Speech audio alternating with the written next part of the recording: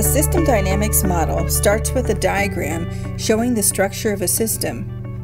You don't need to learn a new programming language, you just need to identify how the parts are connected and input some basic math functions such as adding, subtracting, multiplying, and dividing. Key stocks or accumulations are identified with the box. These stocks can go up and down based on their flows or rates of change. The advantage to moving from a stock flow diagram to a running model is that you can see what happens to the accumulations in the system over time. So the diagram isn't just a static picture of a system, but rather it becomes dynamic, like a moving machine or organism. Here's a simple example. Let's say we have a population of deer. The number of deer are represented as a stock. They can be born, adding to the population, and they can die, subtracting from the population. How many are born depends on two factors how many deer there are and the birth fraction, that is, the percentage of deer that will give birth in any given year. How many die depends on two factors how many deer there are and the average lifespan.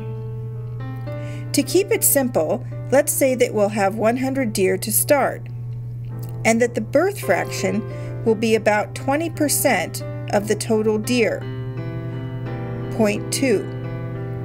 That takes into account that about half of the population will be female, and some of those females will be too young or too old to give birth. To figure out the number of births in any given year, we multiply the number of deer by the birth fraction. Again, to keep it simple, let's say the lifespan of a deer will be about five years. To figure out the number of deaths in any given year, we divide how many deer we have by the lifespan.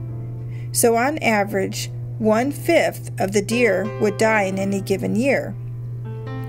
Can you guess what will happen to the deer population given this simple structure and set of rules? Let's find out.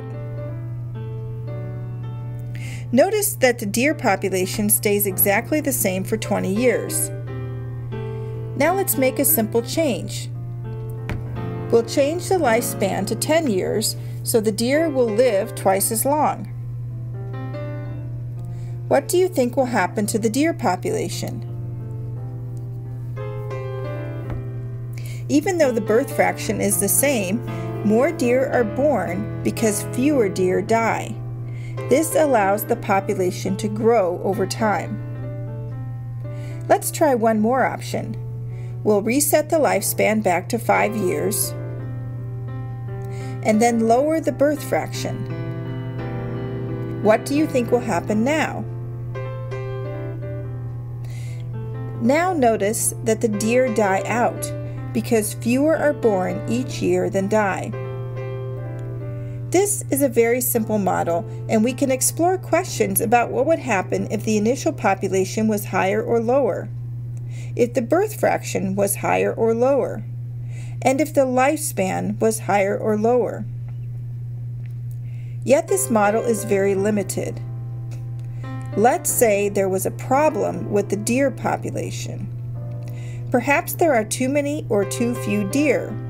We can add other aspects that affect the population in order to understand the problem and consider leverage to improve the situation. These might include elements like food for the deer, predators, and more. To create some of your own models, check out the book Model Mysteries that includes fun, step by step instructions and examples throughout. Thank you for watching this short introduction to System Dynamics models, brought to you by the Creative Learning Exchange.